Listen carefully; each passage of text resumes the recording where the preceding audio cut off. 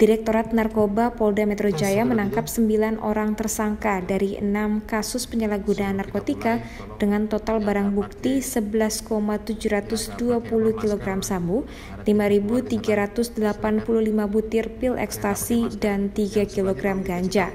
Pengungkapan lima kasus ini dilakukan oleh Subdit 1, 2, dan 3 Dit Narkoba Polda Metro Jaya yang bekerja sama dengan pihak-pihak terkait. Di antaranya kesembilan tersangka yang diamankan terdapat jaringan pengedar narkotika antar provinsi. Selain itu, polisi juga mengamankan warga negara asing atas kepemilikan 5.385 butir pil ekstasi asal Jerman. Dari Subdit 2, ya, ini berhasil mengamankan dua orang.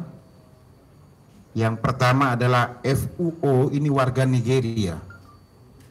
Kemudian seorang wanita inisialnya V. Ini masih kita dalami karena yang tersangka ini masih kita amankan adalah saudara FUO warga negara Nigeria. Barang haram ini adalah ekstasi.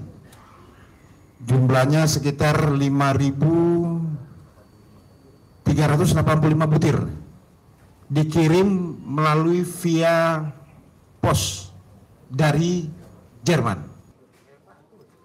Dari Jakarta, tim liputan melaporkan.